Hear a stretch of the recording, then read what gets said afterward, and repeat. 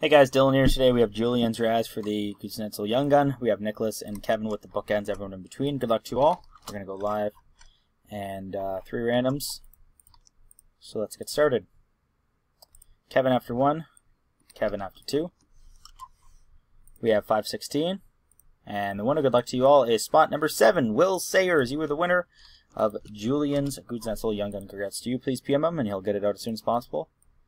Once again, Spot 7 is our winner.